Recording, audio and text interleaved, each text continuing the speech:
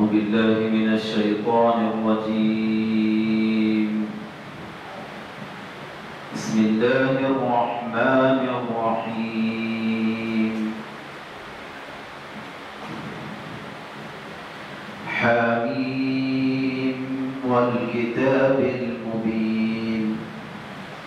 إنا أنزلناه في ليلة مباركة. إنا كنا منذرين فيها يفرق كل أمر حكيم أمرا من عندنا إنا كنا مرسلين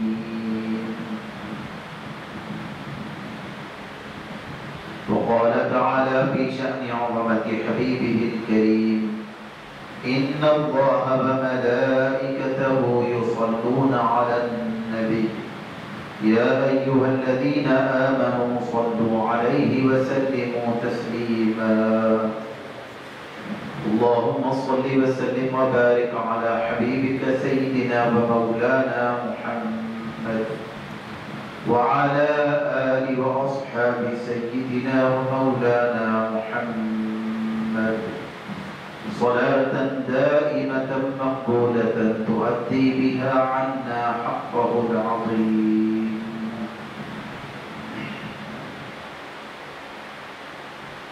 آج کی رات، ماہ شعبان شعبان المعظم کے متبرک مہینے کی پندرہویں رات ہے۔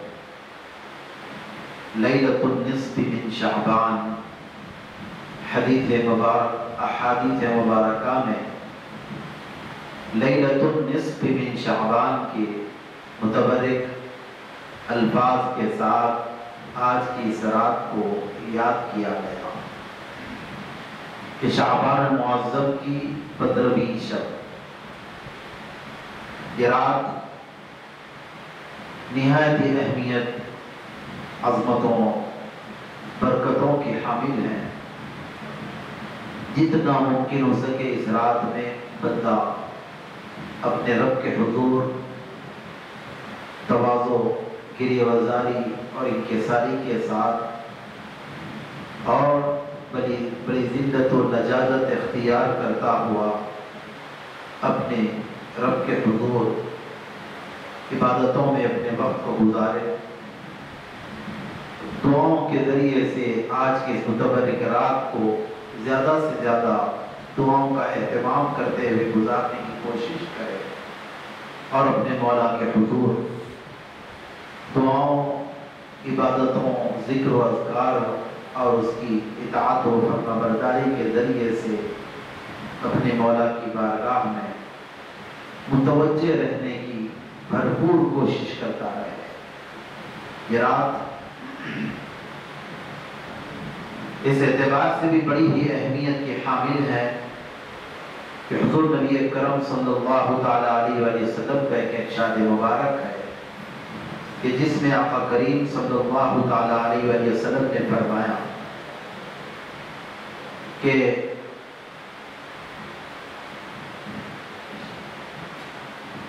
سال تمام میں سے چند راتوں کا تذکرہ فرمایا۔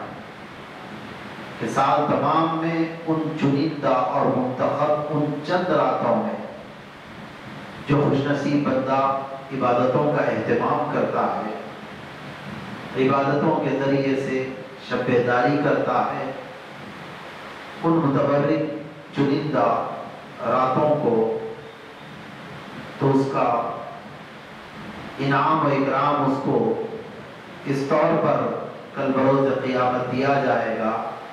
کہ آقا کریم صلی اللہ تعالیٰ علیہ وسلم فرماتے ہیں کہ اس دن، جس دن لوگوں کے دلوں پر مردنی چھا جائے گی، لوگوں کے دل مردہ ہو جائیں گے، اس دن اس خوش نصیب کا دل زندہ رہے گا جو خوش نصیب ان سال تمام کی ان چنندہ چند منتخب راتوں کو عبادتوں کا اہتمام کر کر گزارتا ہے۔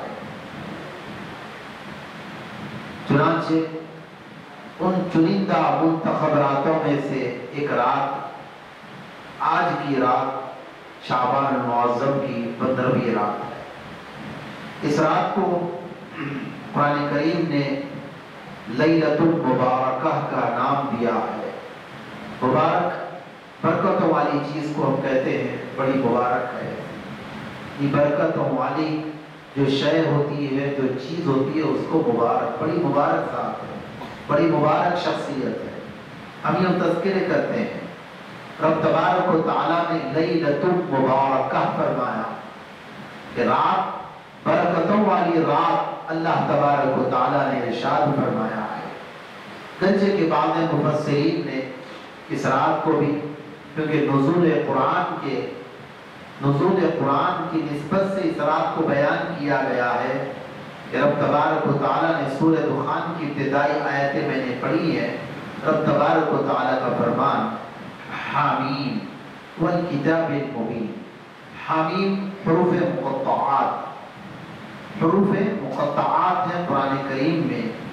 بہت ساری صورتوں کی ابتدا ان حروف مقطعات کے ساتھ میں ہوئی ہے۔ اس کے معنی و مفہوم کے تعلق سے مفسرین بس یہ کہہ کر بس کر دیے ہیں کہ اللہ و رسول عالم اللہ اور اس کے رسول ہی بہتر جانتے ہیں کہ اس کی کیا معنی ہے، اس کی کیا مراد ہے۔ حامیم۔ جس طرح سے علی فلام میم بھی ہے، ایک معنی، امکانی معنی کی یہ معنی ہو سکتے ہیں۔ بعض مفسرین نے بعض حروف مقطعات کے معنی بیان فرمائے ہیں۔ امکانی معنی، یہی معنی نہیں کہ ایک ان کی اپنی اندازے کے طور پر یہ معنی ہو سکتے ہیں۔ جس طرح سے علی فلام میم یہ گویا حروف مقطعات یعنی بالکل اختصار کے ساتھ شارٹ کٹ میں جیسا بیان ہوتا ہے، وہ گویا اختصار کے ساتھ میں وہ بیان ہے۔ اسی انداز سے علی فلام میم کے معنی والے مفسرین نے بیان فرمائے، حقیقی معنی تو اللہ اس کا رسول ہی بہتر جانتے ہیں۔ لیکن شاہ فرمایا، علی لام میم میں علی سے مراد اللہ تبارک و تعالی۔ لام سے مراد جبریل امین ہے اور میم، علی لام میم کے میم سے مراد محمد صلی اللہ تعالی علیہ وسلم ہے۔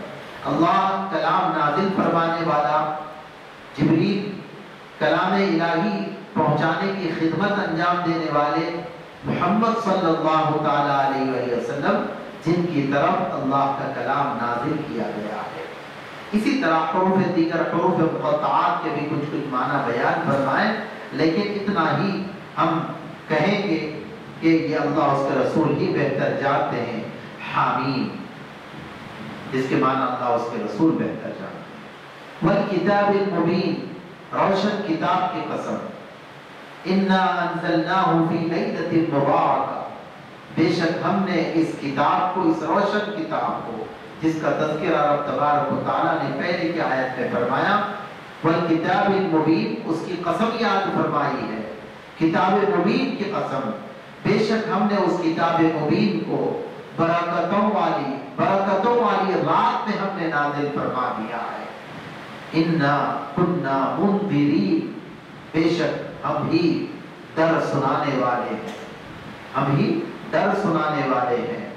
فرمایا فیہا یفرق کل امر حکیم وہ رات فی لیلت مبارکہ جس کا تذکرہ ہوا فیہا یہ ضمیر جو ہوتی ہے ہو ہا یہ جو ضمائر ہے یہ ضمیر لوٹتی ہے۔ اس میں یعنی پیچھے جس کا تذکرہ اس کے قریب میں جس جس کا تذکرہ ہوتا ہے، اس کی طرف لوٹتی ہے۔ تو پیچھے جو تذکرہ ہے لیلت المبارکہ کا تذکرہ، برکتوں والی رات کا تذکرہ ہے۔ تو فرمایا، فیہا، اس رات میں، اس برکتوں والی رات میں، یفرقو کل امر حکیم۔ ہر حکمت والا کام، امر، معاملہ بانٹ دیا جاتا ہے انا کننا مرسلین بے شک ہم ہی بھیجنے والے ہیں۔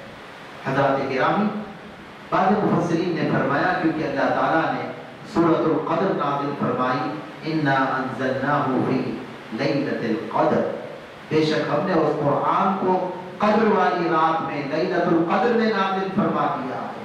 اور لیلت القدر کے تعلق سے یہ اتفاق جمہور کا، جمہور اس طرف گئے ہیں کہ رمضان مبارک کی آخری عشرے آخری دس دنوں کی تاق راتوں میں سے کوئی ایک رات شب قدر ہوتی ہے۔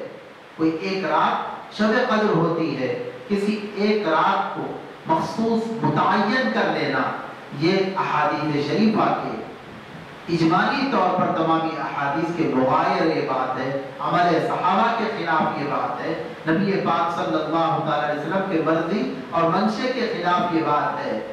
کہ کسی ایک رات کو ایک تاریخ کو پکڑ کر بیٹھ جانا کہ یہ شب قدر ہے۔ ایسا نہیں، بلکہ شب قدر رمضان کے آخری دس دنوں کی تمام طاق راتوں میں سے کوئی ایک طاق رات واقع ہو جاتی ہے۔ تو فرمایا مفسرین کرام نے، اللہ تعالیٰ نے فرمایا، اِنَّا أَنزَلْنَاهُ فِي لَيْلَةِ الْقَدْرِ اور یہاں پر اِنَّا أَنزَلْنَاهُ فِي لَيْلَةٍ مُبَارَكَةٍ تو وہاں قدر والی رات، یہاں پر برکتوں والی رات میں نازل فرمایا، تو دونوں راتیں ایک ہی ہیں، شب قدر کا ہی بیان ہے۔ لیکن، کبار مفسرین اور صحابہ اکرام میں سے جو علم، فقہ اور علم تفسیر اور قرآن کے معانی کا بہت بڑا حصہ اپنے پاس رکھتے ہیں اور بڑے مشہور معروف اور متعارف ہے اس اعتبار سے۔ ان صحابہ کرام کے پاس۔ لیلت القدر، علاحدہ ہے، اور لیلت المبارکہ علاحدہ۔ لیلت القدر، رمضان میں آنے والی لیلت القدر ہے۔ گرچہ کہ وہ بھی برکتوں والی ہے، لیکن یہاں پر رب تبارک و تعالیٰ نے جس رات کا تذکرہ فرمایا ہے اِنَّا أَنزَلْنَاهُ فِي لَيْلَةٍ مُبَارَكَةٍ کہہ کر، وہ رات شب قدر نہیں، بلکہ شب قدر کے علاوہ ہے، وہ شعبان معظم کی پندرہویں رات آج کی رات ہے۔ حضرات گرامی، یوں تو آپ شب قدر کا اہتمام کرتے ہیں، لیکن آپ کی کوشش اور جستجو رہتی ہے اور یہ امید آپ کو رہتی ہے کہ ممکن ہے کہ اللہ تبارک و تعالی آج کی رات ہوئی، آج کی رات ہی کو شب قدر بنائے اور ممکن ہے کہ آج کی رات ہی شب قدر ہو۔ ہم اور آپ عمومی طور پر ستائیس کی شب کا اہتمام کرتے ہیں۔ رمضان کی ستائیسویں رات کو ستائیسویں شب کو شب قدر لکھتے ہیں، اہتمام کرتے ہیں ہم عمومی طور پر۔ اور اسی ایک رات کو ہی اہتمام کرتے ہیں۔ لیکن حقیقت کیا ہے؟ حقیقت یہی ہے کہ رمضان نبی پاک صلی اللہ علیہ وسلم نے تحروا لیلت القدر کہہ کر حکم فرمایا کہ تم شب قدر کو تلاش کرو۔ شب قدر کو تلاش کرو، رمضان کے آخری دس دنوں کی تاق راتوں میں تلاش کرو۔ آپ ستائیس کو بھی عبادت کر رہے ہوں گے۔ تب بھی آپ کو یہ کہنا اور ماننا پڑے گا، ممکن ہے کہ آج کی رات شب قدر ہو، اور یہ بھی ممکن ہے کہ آج کی نہ ہو، کوئی اور رات ہو۔ اس کے بعد آنے والی انتیسویں ہو، یا اس سے پہلے گزرنے والی پچیسویں گزر چکی ہوگی ستیسویں گزر چکی ہوگی۔ ممکن ہے اکیسویں گزر چکی ہوگی۔ ممکن ہے کہ آج کی ستائیسویں شب شب قدر۔ یہ امکان ہے وہاں پر کہ وہ رات آخری، رمضان کے آخری دہت کی تاک راتوں میں سے کوئی ایک رات ہو سکتی ہے، لیکن شب براعت شب براعت جو ہے، وہ شعبان کی پندرہویں رات جو ہے ہے سو ہے، وہی رات شب براعت ہے، شب مبارکہ ہے، جس کے تعلق سے احادیث شریفہ میں آیا ہے۔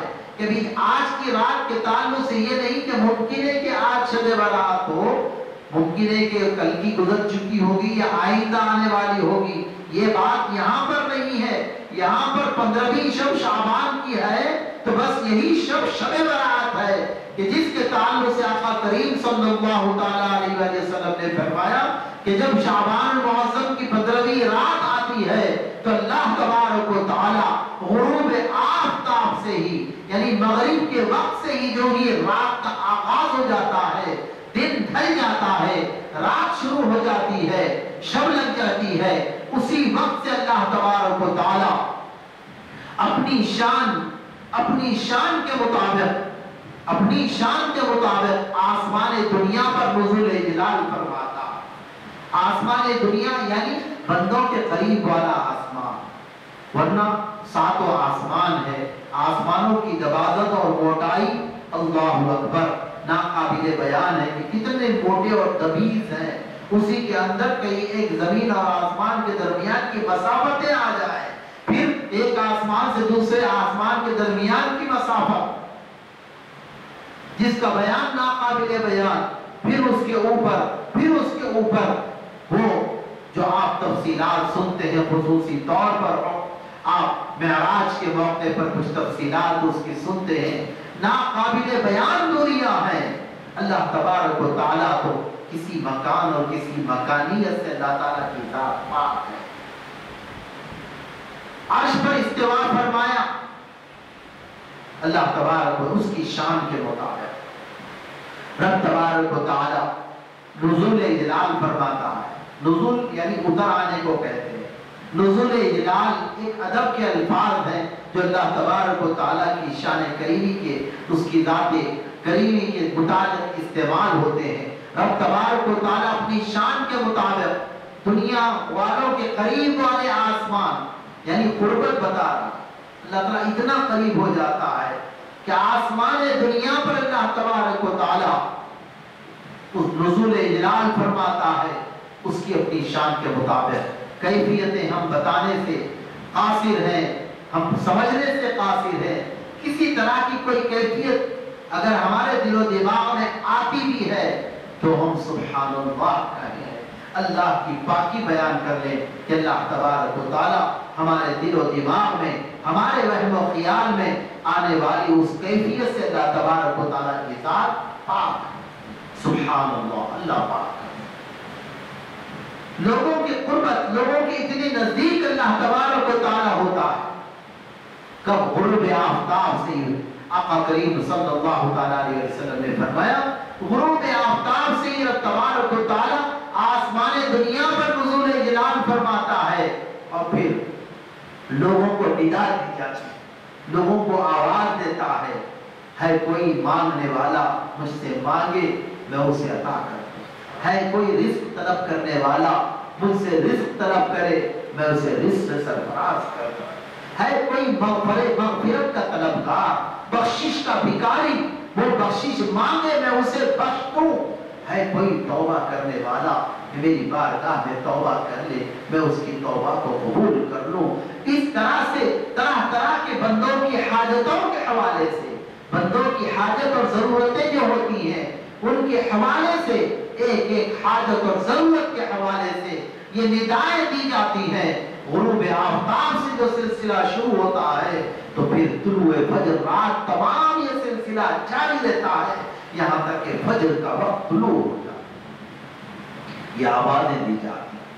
یہ رات جو ہے، شعبان معظم کی پندرہویں شب جو ہے، یہ رات میں یہی رات ہے یا کوئی اور رات ہے؟ ایسی بات نہیں۔ بلکہ شعبان کی پندرہویں شب جو ہے تو پندرہویں شب ہی وہ شب براعت ہے، جسے شب مبارکہ لیلت مبارکہ، رشب عربی زبان کے جسے لیلہ کہتے ہیں۔ لیلت مبارکہ برکت والی رات اللہ پاک نے فرمایا ہے۔ وہ رات شعبان المعظم کی پندرہویں شب ہے، وہ آج ہی کی رات ہے۔ حضور نبی کریم صلی اللہ علیہ وسلم کے معمولات مبارکہ، حضور نے کیا کیا ہے؟ جو ملتا ہے میں احادیث صحیحہ سیاستہ کی کتابوں ابن ماجہ شریف کی حدیث کی ہے۔ نبی پاک صلی اللہ علیہ وسلم اس رات دعاؤں کا اہتمام، دعاؤں کا اہتمام ملتا زیارت قبور کا اہتمام ملتا ہے۔ چنانچہ ام المؤمنین سیدتنا عائشہ صدیقہ رضی اللہ تعالیٰ عنہ فرماتی ہے آقا کریم صلی اللہ تعالیٰ علیہ وسلم کی باری میرے پاس ہے۔ حضور کی دیگر ازواج مطہرات میں سے ام المؤمنین کے پاس باری کا دن تھا۔ حضور نبی پاک صلی اللہ تعالیٰ علیہ تشریف لائے۔ کچھ دیر آرام فرمائے، پھر اٹھے اور پھر حضور باہر نکلے۔ باہر نکلے ام المؤمنین سیدتنا عائشہ صدیقہ رضی اللہ تعالیٰ عنہ حضور نبی پاک صلی اللہ علیہ وسلم کو تلاش کرتی بھی وہ بھی باہر نکل حجاب کے ساتھ وہ جب باہر نکلی، رات کا ایک وقت گزر چکا تھا۔ وہ ڈھونڈتی تلاش کرتی ہوئی۔ نبی پاک صلی اللہ تعالی علیہ وسلم جستجو میں نکلی، تو جنت البقی جو مدینہ پاک کی آبادی کے باہر، آبادی کے قریب میں، آبادی کے باہر قبرستان تھا۔ بقی بقی کا قبرستان، اس قبرستان میں نبی پاک صلی اللہ تعالی وسلم تشریف لے گئے تھے۔ بتایا نہیں تھا حضور نے کہ کہاں تشریف لے جا رہے ہیں، بس حضور نکلے اور تشریف لے گئے۔ حضور کی جستجو اور تلاش میں ام المومنین سیدتنا عائشہ صدیقہ رضی اللہ تعالیٰ عنہ نکلی اور نکل کر وہ جنت البقی میں پہنچ۔ نبی پاک صلی اللہ تعالیٰ علیہ وآلہ وسلم وہاں پر دعاؤں میں مصروف تھے۔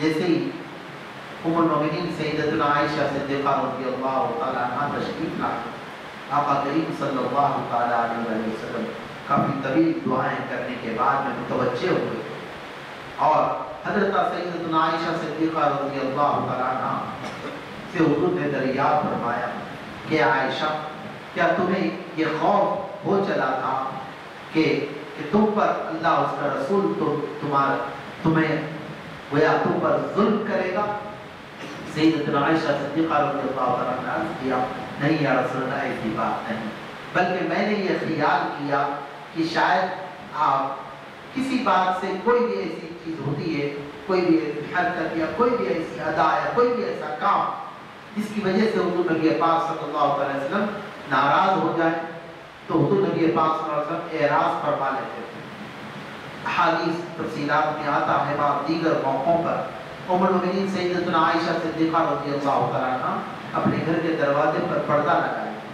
پردے پر نقش و نگار کچھ مطلب اس کے اوپر کچھ جانداروں کی تصویریں جیسی اتری۔ ہوئی نبی پاک صلی اللہ علیہ وسلم تشریف لائے۔ جیسے ہی آپ نے اس پردے کو ملاحظہ فرمایا تو حضور اسی طرح سے الٹے پاؤں حضور پیچھے نکل کر چلے۔ ایسا ہوتا ہے، کوئی بھی ایسا کام حرکت کہ حضور ناراض ہو گئے اور پلٹ کر چلے گئے ہوں۔ ام المؤمنین کو خیال ہوا، عرض کیا رسول اللہ نہیں، ایسی بات نہیں۔ یعنی اللہ اس کے رسول یعنی ظلم کرے، ایسی کوئی بات نہیں، ایسا کوئی خیال نہیں، بلکہ میں نے یہ خیال کیا کہ شاید آپ اپنی ازواج متحرات میں سے الى بعض نسائک اپنی ازواج متحرات میں سے کسی کے پاس آپ تشریف لے گئے ہوں۔ مجھے یہ خیال ہوا، کسی بات سے ناراضگی کے بنا۔ ام المؤمنین سیدتنا عائشہ صدیقہ رضی اللہ تعالیٰ عنہ نے یہ عرض کیا۔ لیکن ہم یہاں پر دیکھتے ہیں کہ اگر نبی پاک صلی اللہ علیہ وسلم کسی اور زوجہ کے پاس تشریف لے گئے ہیں، جب ام المؤمنین سیدتنا عائشہ صدیقہ رضی اللہ تعالیٰ عنہ کو یہ گمان بھی ہوا، یہ خیال بھی ہوا جو انہوں نے عرض کیا۔ لیکن کیا وجہ تھی کہ ام المؤمنین سیدتنا عائشہ صدیقہ رضی اللہ تعالیٰ عنہ اپنے گھر سے، اپنے مکان سے، اپنے حجرے سے نکلی اور نکل کر حضور کو تلاش کرنے، جستجو کر میں نکلی اور تلاش کرتی ہوئی نکلی تو وہ سیدھا جنت البقی آ گئی۔ کسی زوجہ، کسی ازواج متحرات میں سے، نبی پاک صلی اللہ علیہ وسلم کے دیگر ازواج میں سے کسی زوجہ کے گھر پر جا کر دستک نہ دیا ام المؤمنین نے کیا آقا تشریف لائے ہیں؟ ان کے باری ام المؤمنین کی تھی۔ ان کا حق تھا وہ۔ وعد کر سکتی تھی، پوچھ سکتی تھی کہ حضور یہاں تشریف لائے ہیں؟ دیگر ازواج مطارات کے حجرے وہیں پر تھے، آس پاس میں سارے حجرے موجود تھے۔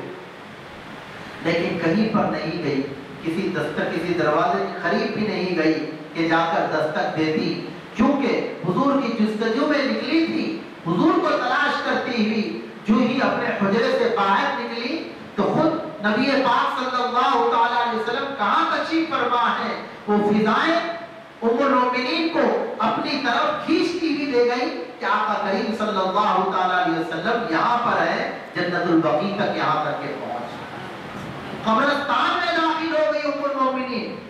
قبرستان میں داخل ہو گئی کیونکہ نبی پاک صلی اللہ تعالی علیہ وسلم کو تلاش کرنے کا وہاں پر جو صحابہ کرام کے درمیان میں جو گویا رواج تھا، جو معاملہ تھا، بس یہ تھا کہ آقا کریم صلی اللہ تعالیٰ علیہ وسلم جس جس راستے سے اور جن راہوں سے گزر جاتے، وہ راہیں، وہ راستے حضور نبی پاک صلی اللہ علیہ وسلم کی بے مثال بے مثال خوشبو سے مہک جاتے تھے۔ مہک جاتے تھے۔ چنانچہ ام المؤمنین جب باہر نکلی، بس وہ اپنی ناک کو گھمایا ہوگا کہ کسی حجرے کی طرف اس طرف پلٹی، تو کوئی کسی طرح کی نبی پاک کی خوشبو اس جانب تو مہکی نہیں ہے۔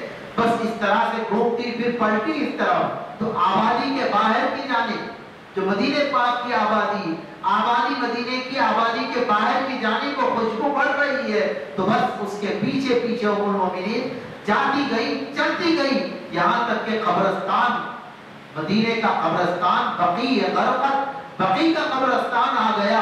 تو پھر خوشبو ام المؤمنین کو داخل ہونے پر مجبور کر دی۔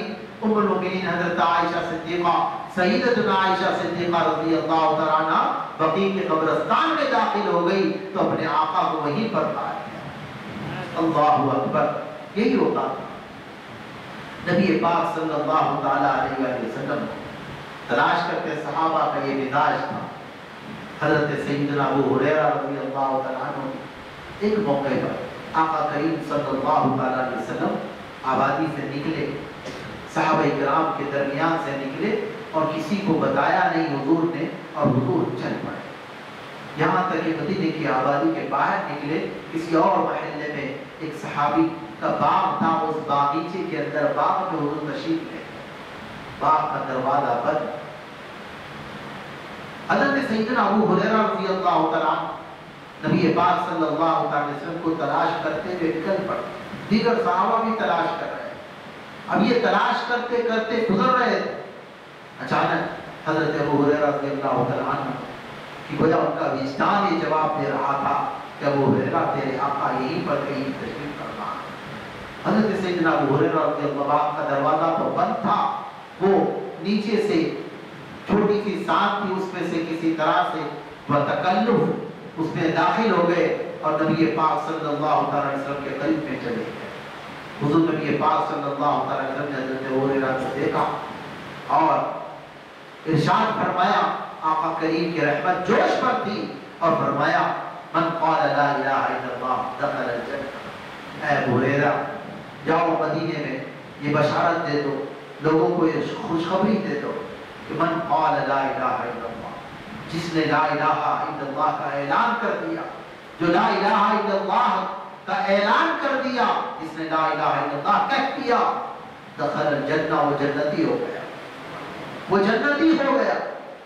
اللہ اکبر، نبی پاک صلی اللہ علیہ وسلم، صحابہ اکرام وہاں پر حضرت سیدنا ابو ہریرہ رضی اللہ تعالیٰ حضور نبی پاک صلی اللہ تعالیٰ علیہ وسلم سے اب جا کر یہ بات کہ جنت کا حصول یعنی لا الہ الا اللہ کا اعلان کر دو، جنتی ہو جاؤ، دخل الجنہ، جنت میں داخل ہو گیا، یہ اعلان کر دینا ہے۔ جبکہ جنت میں داخلے کے لیے، جنت میں داخلے کے لیے، یہ جنتی ہونے کے لیے جو کچھ صحابہ کرام کے پیش نظر تھا کہ یہ مراحل، یہ سب ترین مسائل، آلام، آزمائشوں اور یہ سب سارے مراحل سے مرحلوں سے گزرنے کے بعد میں تب کہیں جا کر بندہ جنتی ہوتا ہے۔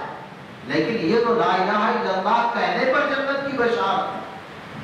حضرت ابو حریرہ رضی اللہ تعالیٰ عنہ کو یہ خیال ہوا، اگر میں اعلان کروں، اگر میں یہ اعلان کر دوں آپ کی طرف نسبت کر کر بھی، تو لیکن یہ لوگ مانیں گے کیسے؟ لوگ مانیں گے کیسے؟ یقین کیسے کریں گے؟ نبی پاک صلی اللہ علیہ وسلم کی بارگاہ میں عرض کیا گیا صلی اللہ لوگوں کو یہ یقین ہو جائے، یہ یقین ہو جائے کہ آپ نے مجھے بھیجا ہے کہ جاؤ ابو ریرا مدینہ پاک میں اعلان کر دو۔ من قال لا الہ الا اللہ دخل الجنہ۔ جس نے لا الہ الا اللہ کا اعلان کیا، وہ جنتی ہو گیا۔ آپ نے بھیجا ہے یہ یقین دہانی کے لیے یہ یقین کرنے کے لیے کہ لوگ یقین کر لیں۔ کوئی آپ پروف کے طور پر علامت کے طور پر آپ اس کی گواہی کے طور پر آپ کچھ عنایت فرما دیجیے مجھ آپ کچھ دیجیے کہ بھئی حضور نے ہی بھیجا ہے، واقعی طور پر، واقعی طور پر حضور نے ہی بھیجا ہے۔ کہ وہ بتاؤں گا کہ حضور نے بھیجا ہے، دیکھو میرے پاس یہ گواہی بھی ہے کہ میں اپنی طرف سے نہیں کہتا، بلکہ رسول پاک نے بھیجا ہے۔ دیکھو میرے ساتھ حضور کی یہ گواہی موجود ہے۔ پروف کے طور پر یہ موجود ہے کہ حضور نے یہ ساتھ دیا بھی ہے مجھ کو۔ حضرت ابو حریرہ رضی اللہ تعالیٰ عنہ نے معروضہ رکھا۔ آقا کریم صلی اللہ تعالیٰ علیہ وسلم نے اپنے نالین مبارک حضرت ابو حریرہ کو دے۔ اپنے مبارک نالین اپنی مبارک جوتیاں، اپنی مقدس نالین نبی پاک صلی اللہ تعالیٰ علیہ وسلم حضرت ابو حریرہ کو دے دیے کہ ابو حریرہ جاؤ۔ لوگوں میں اعلان کر دو، من قال لا الہ الا اللہ دخل الجنہ۔ جو لا الہ الا اللہ کا اعلان کرے، وہ جس کا جو کہنے کہے، اور وہ جنتی ہو گیا۔ اب حضور کے نالے مبارک پروف کے طور پر حضور کے نالے مبارک، حضور نے اپنے مبارک نالے اللہ اکبر دیا اور بھی کوئی کچھ جا سکتا تھا۔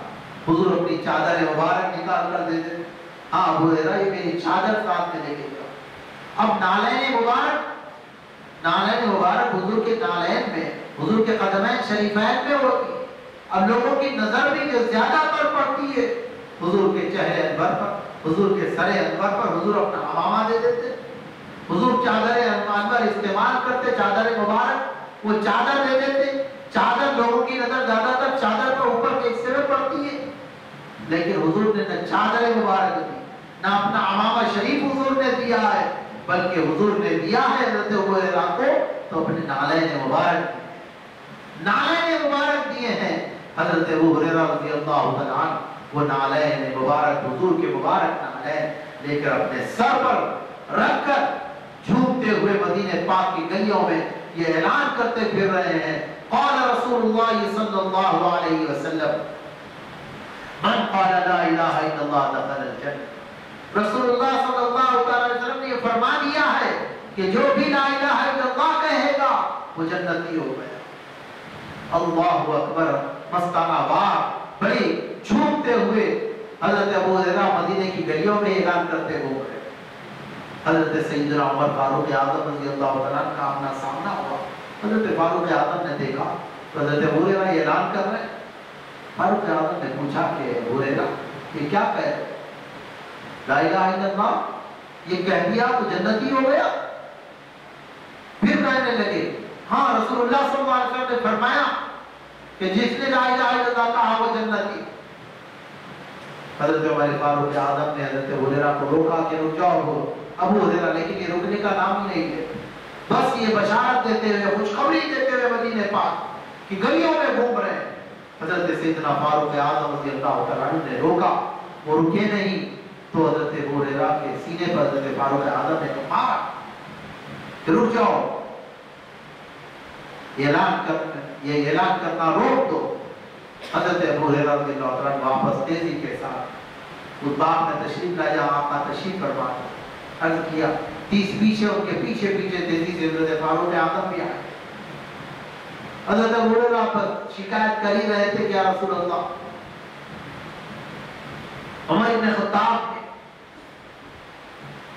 مجھے روک دیا ہے یہ کہنے سے، منع کر دیا ہے۔ فاروق اعظم تیزی سے تشریف لائے۔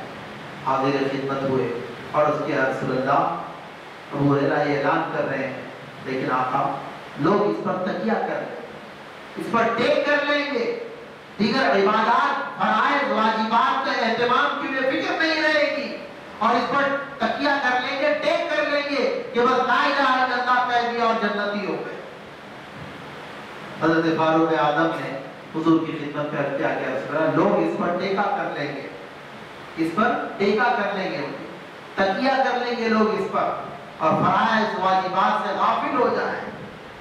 حضور نبی پاک صلی اللہ علیہ وسلم خاموش ہو گئے۔ ٹھیک ہے، رہنے دو ابو ہریرہ روک دیا گیا حضور نے، حضرت ابو ہریرہ لیکن اللہ اکبر، اللہ کے محبوب کے اختیارات، اللہ تبارک و تعالیٰ نے اختیارات عطا فرمائے ہیں لیکن جو بات آقا نے فرمائی ہے کہ حضور نے بشارت، کہ حضور کا یہ اختیار تھا، لیکن جب فاروق اعظم نے لوگوں کی طبیعتوں کے حوالے سے یہ عرض کیا کہ حضور نے تو اپنی جگہ جو فرمایا تھا کہ بس اعلان کر دو کہ من من قال لا الہ الا اللہ، دخل الجنہ، جس نے لا الہ الا اللہ کا اعلان کیا، وہ جنتی ہو گیا، لیکن حکمتاً فاروق اعظم نے منع کیا، تو حضور بھی حکمتاً سکوت اختیار فرمایا حضرت سیدنا ابو حریرہ رضی اللہ صحابہ ڈھونڈنے نکل نکلے۔ نبی پاک صلی اللہ علیہ وسلم کافی دیر سے ہے۔ کافی دیر سے غائب ہے۔ صحابہ حیران، پریشان ہو جاتے تھے کہ حضور نظر نہ آتے۔ تھے اب ڈھونڈنے نکلے مختلف صحابہ مختلف طرف۔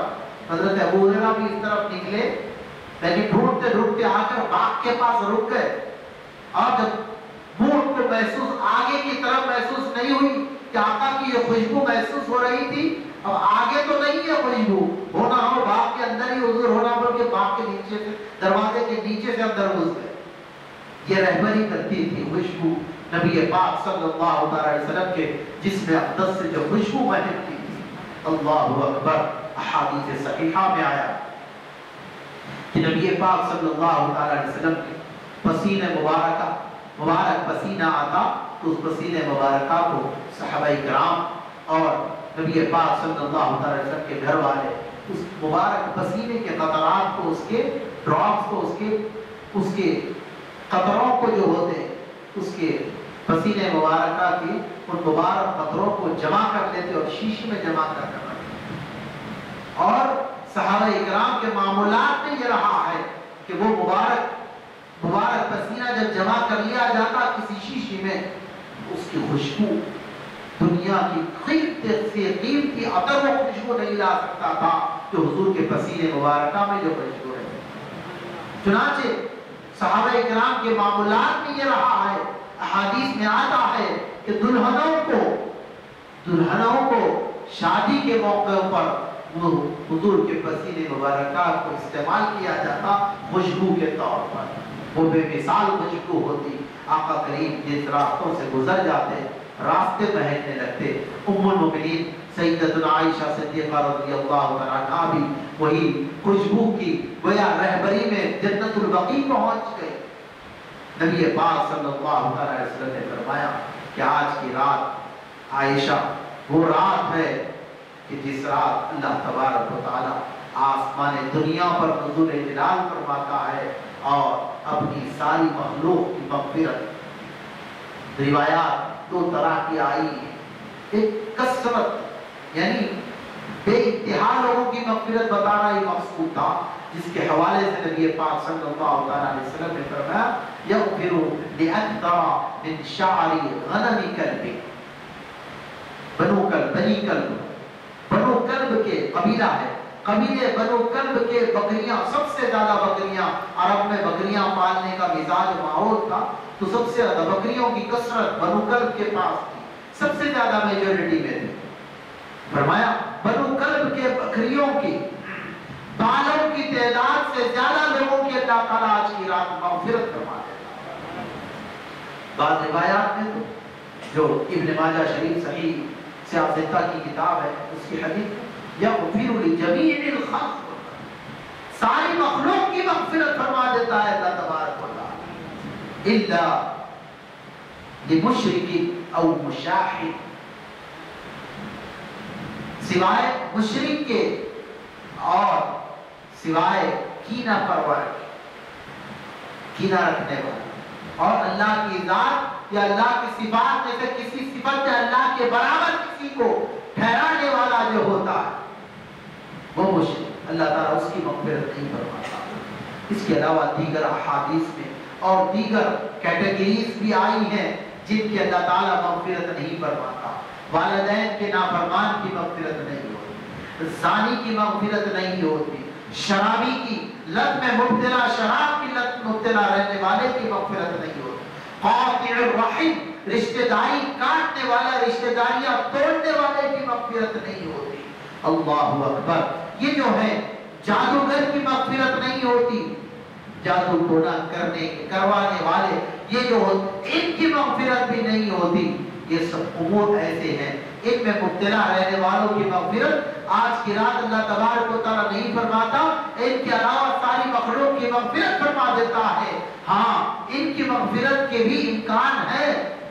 ناممکن نہیں ہے، لیکن وہ سچی توبہ کر وہ توبہ کر لے، وہ سچی توبہ کر لے تو رب تبارک و تعالیٰ ان کی بھی مغفرت فرما دیتا ہے اللہ تبارک و تعالیٰ بڑا رحیم و کریم۔ رب تبارک و تعالیٰ کو بندے کو معاف فرمانے، مغفرت فرمانے کے خود ایسے بہانے تلاش کرنا ہی نہیں، بلکہ خود بہانے پیدا کرتا ہے اور خود بہانے بناتا ہے اور مغفرت کرتا ہے۔ اللہ تعالیٰ تو بندے کی مغفرت کے مغفرت ہوتا ہے، رب تبارک ہوتا ہے بندہ ہی پیٹ پھیر کر بھاگتا ہے۔ بندہ ہی پیٹ پھیر پھیر کر بھاگتا ہے۔ اور رب تبارک و تعالیٰ بلا بلا کے مغفرت سے نوازتا ہے۔ بلا بلا کے مغفرت سے نوازتا ہے۔ آج کی رات کا معاملہ بھی یہی ہے۔ یہ معاملہ رب تبارک و تعالیٰ ایسا نہیں کہ سال تمام میں صرف آج کی جیسی راتیں جو ہوتی ہے انہی راتوں کے لیے اٹھا کر نہیں رکھا رب تبارک و تعالیٰ۔ کہ دیکھو، یہ جو معاملہ، کہ کوئی سخی داتا جس کے خزانے بھرے پڑے وہ خود اپنے سارے خزانوں کے ساتھ غریب کے دروازے پر آ جائے۔ غریب کے دروازے پہ آ کر دستک دے اور غریب، محتاج، مسکین کو آواز دے اپنے بھرے پڑے خزانوں کے ساتھ میں آ کر خود چل کر آئے۔ کسی کو بھیج کر بلوائے بھی نہ۔ خود چل کر آئے اس بھرے خزانوں کے ساتھ میں اور دروازے پر آ کر دستک دے کر آواز دے کہ بول تجھ کو کیا چاہیے۔ بول تجھ کو کیا چاہیے۔ بول تو کیا چاہتا ہے۔ سوال کر، میں عطا کر۔ اللہ اکبر۔ چل کر آیا۔ یہ معاملہ اللہ تبارک و تعالی یہ معاملہ جو آسمان دنیا کے بندوں کے قریب ہو گیا ہے، ان کو سمجھانے کے لیے بتایا جا رہا ہے۔ آسمان دنیا پر حضور جلال فرما رہا ہے۔ بندوں کو سمجھانے اتنا قریب ہو گیا، آواز دے آ گیا گھر پر دستک دے رہا ہے کوئی۔ ہے کوئی مانگنے والا، ہے کوئی بخشش کا طلبکار ہے کوئی تندستی سے چھٹکارا چاہتا ہے۔ ہماری بارگاہ میں دعا کرے۔ ہے کوئی مسائب و عالم میں گرفتار، مصیبتوں سے، تکالیف سے، بیماریوں میں مبتلا، جو بیماریوں سے چھٹکارا چاہتا ہے، وہ مانگے ہم سے، ہم اسے عطا کریں۔ اس کا وعدہ ہے، اجیب دعوت الداع اذا دعا۔ اجیب دعوت الداع دعا کرنے والے کی دعا کو میں سنتا ہوں، اس کا جواب دیتا ہوں، قبول کرتا ہوں۔ اذا دعا، جب وہ مجھ کو پکارتا۔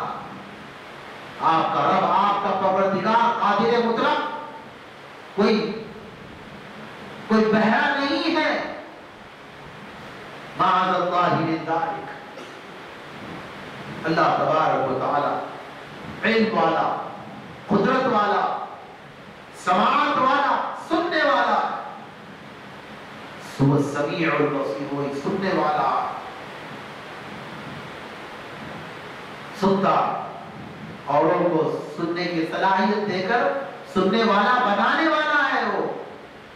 وَجَعَلْنَاهُ سَمِيعًا بَصِيرًا اور ہم نے انسان کو سمیع بنایا اور سننے والا بنایا۔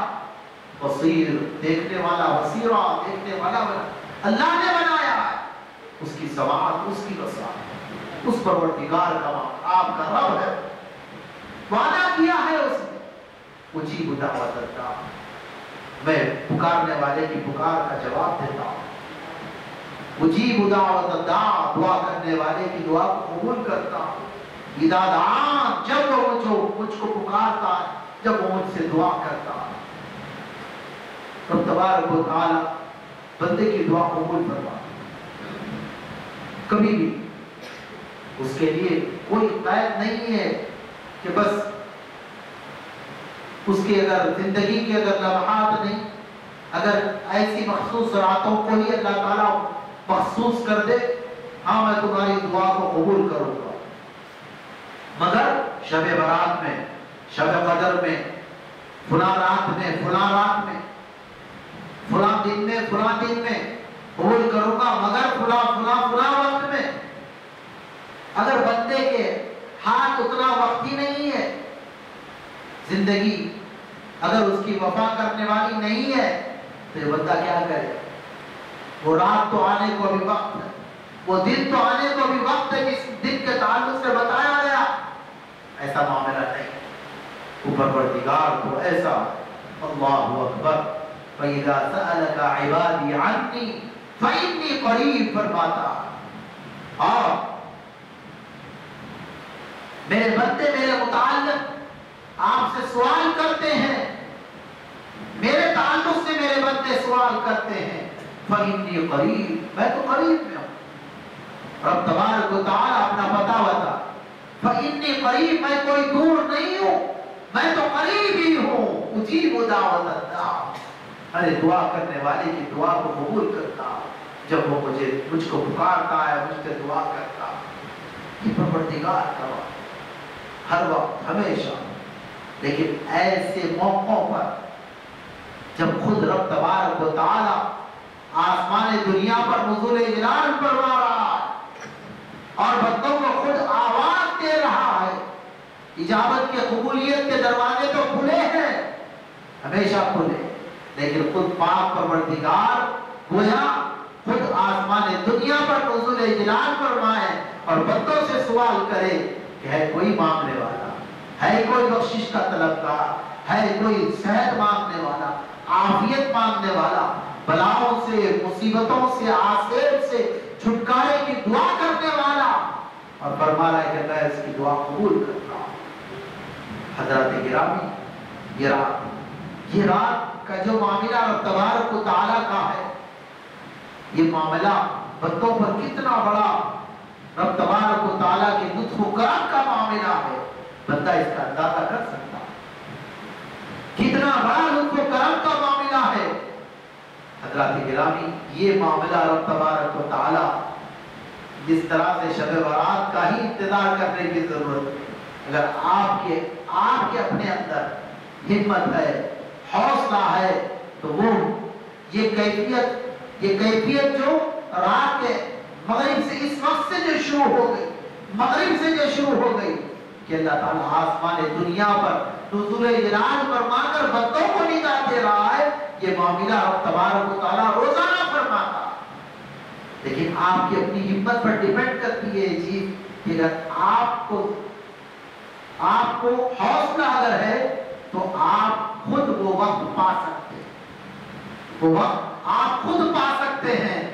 یہ اور بات ہے کہ اس ایسے موقعوں پر اللہ تبارک و تعالی مغرب سے ہی مغرب سے ہی آسمان دنیا پر نزول اجلال فرما بندوں کے قریب ہو گیا اور آواز دے رہا ہے۔ لیکن روزانہ کا جو شیڈیول ہوتا ہے، روزانہ رات کے آخری پہر میں، روزانہ رات کے آخر پہر میں اللہ تبارک و تعالی یہ کیفیت فرماتا ہے۔ کہ آسمان دنیا پر اللہ تعالیٰ نزول اجلال فرماتا ہے روزانہ شب، آخر رات کے آخر حصے میں اللہ تعالیٰ آسمان دنیا پر نزول اجلال فرما کر بندوں کو یہ ندائیں دی جا رہی ہے، آوازیں دی جا رہی ہے۔ ہے کوئی بندہ سوال کرنے والا، مانگنے والا، مانگے، میں اس کو عطا کرتا ہوں۔ اللہ اکبر۔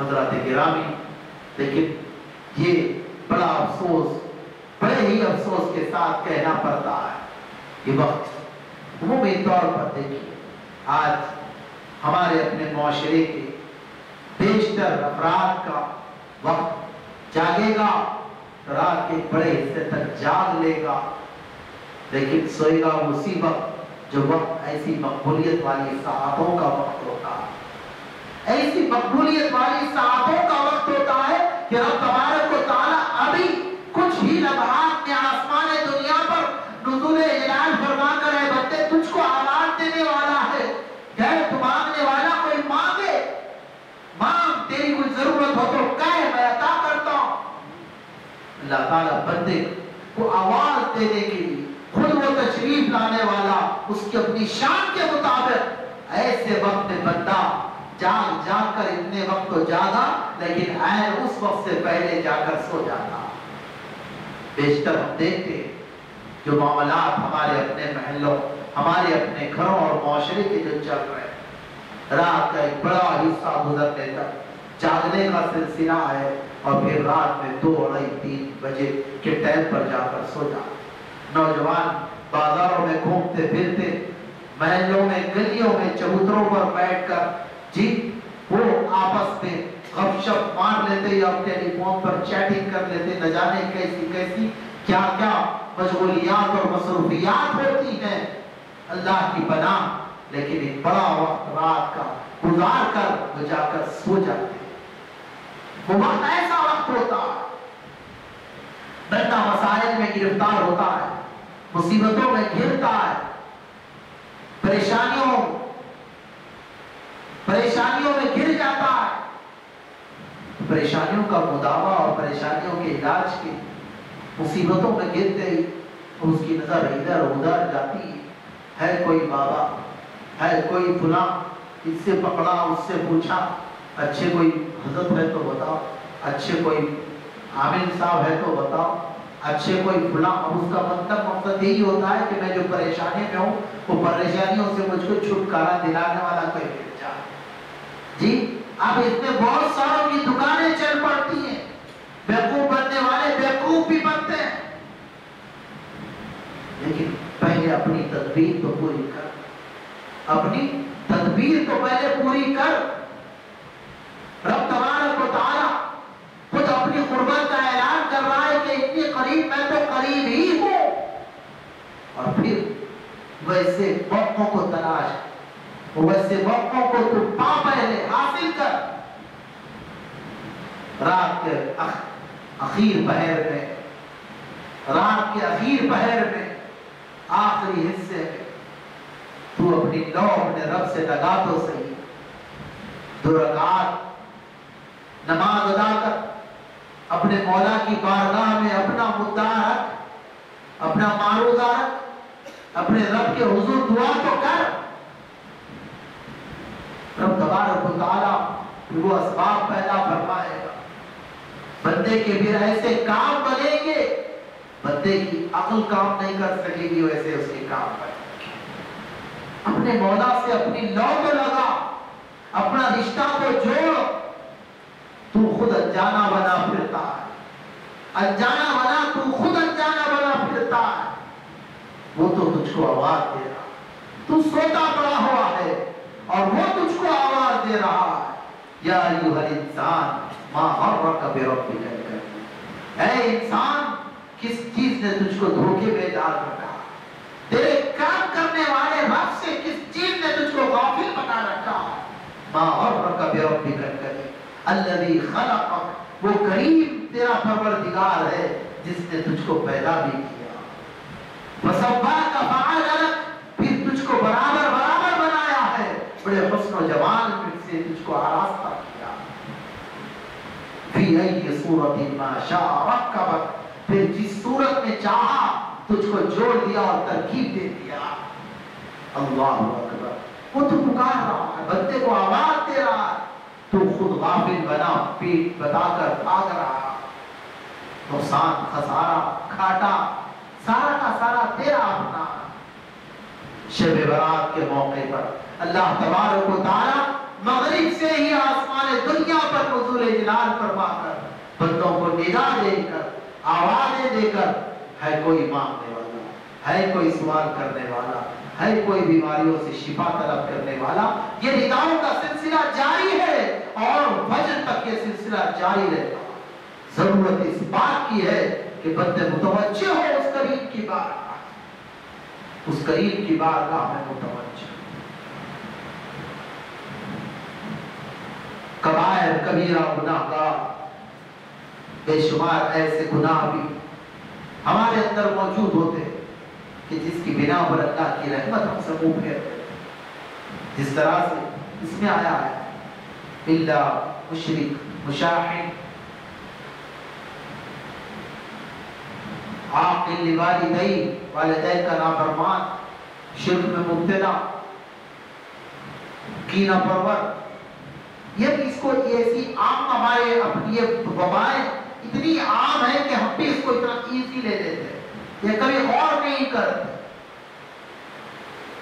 کینا کپٹ یہ کیفیت کوئی آپ کو دیکھنے والی نہیں کہ کوئی آپ کو چہرے پر دکھ جائے کہ جسم پر ابھر کر ابھر کر آ جائے آپ کے سامنے۔ جی کوئی ابھر کر آ گئی کوئی چیز۔ لباس کے اوپر کوئی تھپا شپا پڑ گیا آپ دکھ کر آ گیا۔ ہے ایسا معاملہ نہیں ہے۔ آپ کو محسوس کرنا پڑتا آپ جائزہ لینا، آپ محسوس کرنا ہے۔ تھرمامیٹر ہوتا ہے۔ ایمان کا تھرمامیٹر۔ ہے جی اپنے قلب کی کیفیات کو جانچنے کا تھرمامیٹر۔ قرآن پاک کی آیات کریمہ اور نبی پاک صلی اللہ تعالی علیہ وسلم کے ارشادات کے تھرمامیٹر، ان کے فرامین کے تھرمامیٹر سے ناپنا، اس کو ہم جانچنا۔ ایمان کا تھرمامیٹر ڈال کر ایمان کا کتنا ہے، ایمان کی حرارت ایمانی ہمارے اندر کتنی ہے۔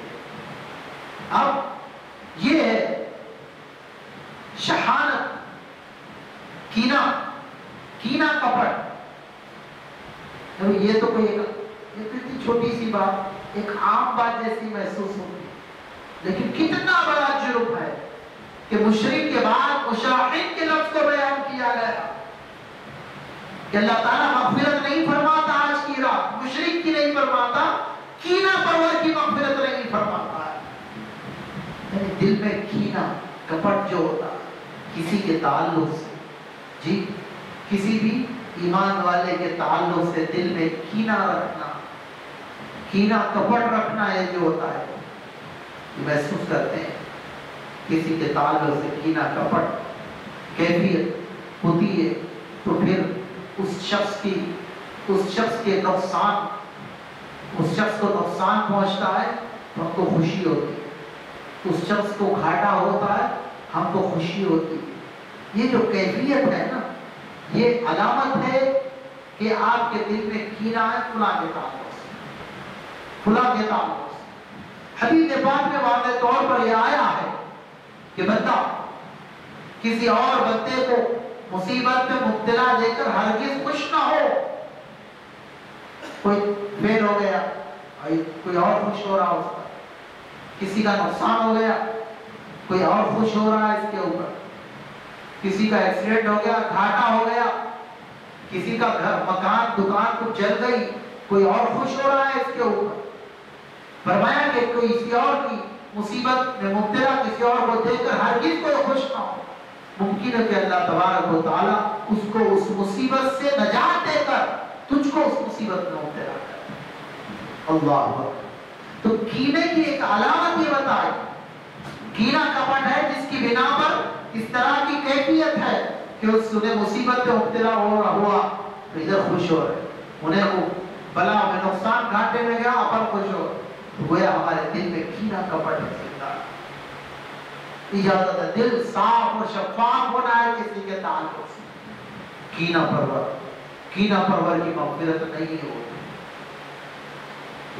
بہت محنت کرنی پڑتی اس چیز کے جی آرام سے والے غسل کر کر صبح سے شام تک پانچ مرتبہ غسل کر لو، بولے بھی تو آسانی چلو جی بولی سے پانی سیک کر غسل کر لو، بولے بھی تو آسانی چلو لیکن اس کے پیچھے جس قسم کا مزاج بن جاتا ہے، اس کے پیچھے محنت کرنا پڑتا ہے کہ جسم کا میل کچیل دور کرنا تو آسان ہے، لیکن دلوں میں پائے جانے والے کینے کپٹ کو دور کرنا محنت کرنی پڑتی ہے۔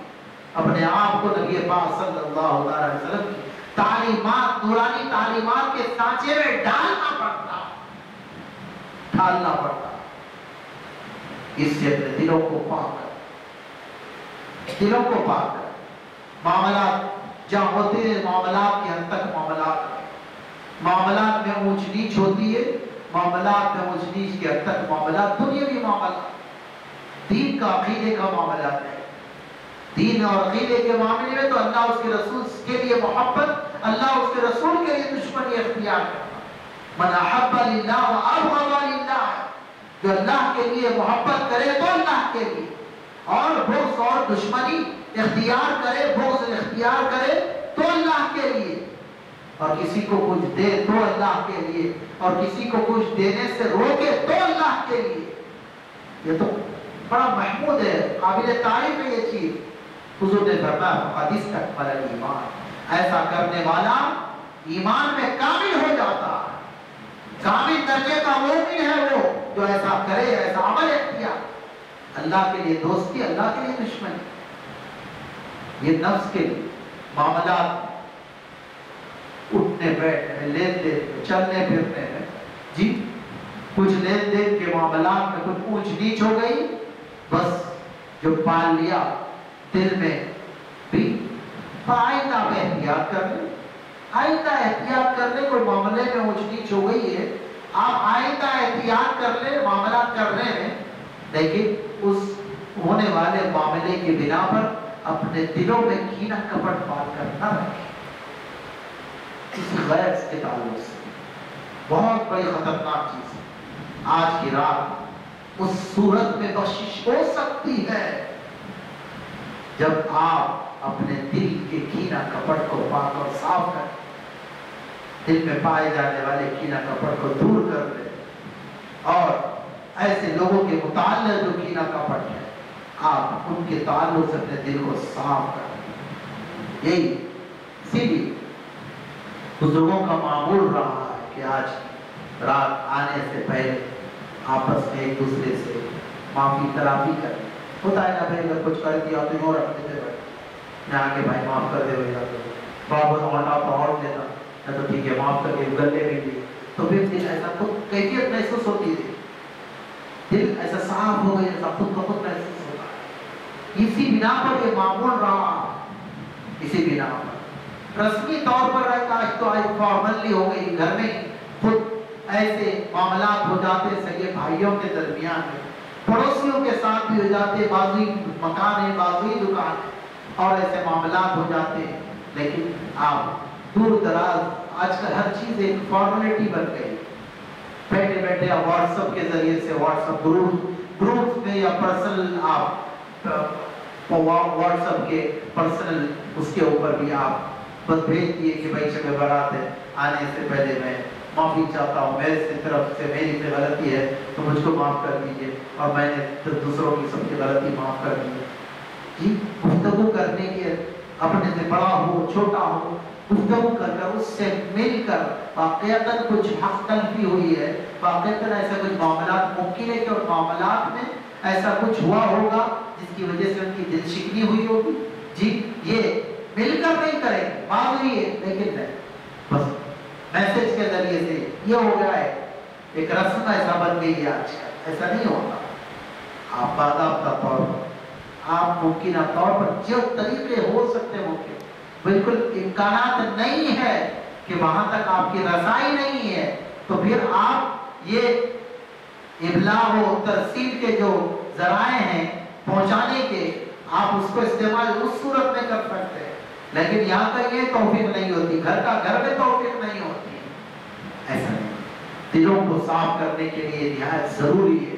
اور آج کی رات، جب آج کی جیسی رات، جبکہ آج کی جیسی رات جہاں پر اللہ تعالیٰ ساری مخلوق کی مغفرت فرما رہا ہے، آسمان دنیا پر نزول جلال فرما کر جی ساری مخلوق کی مغفرت فرما اور اعلان فرما رہا ہے مغفرت کا۔